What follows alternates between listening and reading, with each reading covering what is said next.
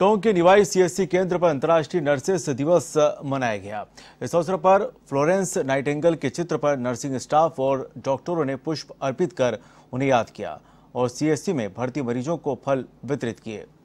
वहीं मालपुरा सड़क हादसे में नर्सिंग स्टाफ के राधेश्याम सैनी का निधन होने पर दो मिनट का मौन रखकर श्रद्धांजलि दी।